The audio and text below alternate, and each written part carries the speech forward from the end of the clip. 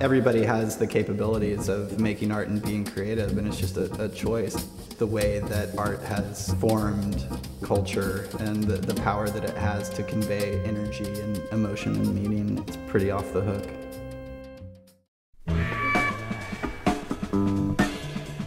Ad hoc art challenges the boundaries of fine art by taking more risks.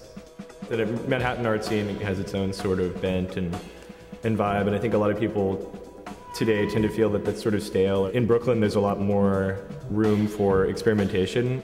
When we started, we were showing a lot of printmaking, drawing, street art, and lately we sort of expanded that to also include uh, more like pop art or new pop, uh, surrealism, other work that's often not shown in the contemporary art scene uh, in New York City. I think we were the first gallery uh, to show uh, the artist Gaia um, Unplay, uh, a duo of Russian artists. Imminent Disaster, whose work I've always enjoyed.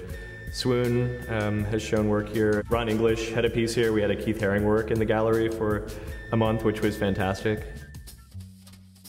Uh, we also do classes and workshops here in the space where we offer people an opportunity to come in and learn the basics of silk screening. So people are able to come in, study printmaking, get the basics down, and then go home and do it themselves. We really want this to not only be a place where we make our own work and show artwork by other people, but where we can also help people uh, be creative in their own sense.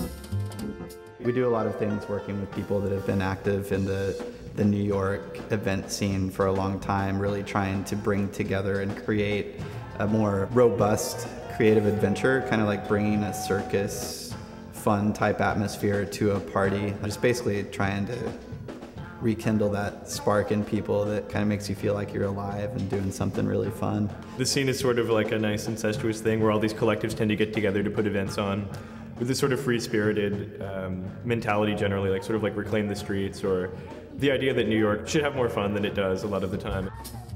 This neighborhood uh, alone is, is a really amazing nexus as far as uh, musicians, visual artists, writers, you name it. I mean, there's a, a, lot of creativity.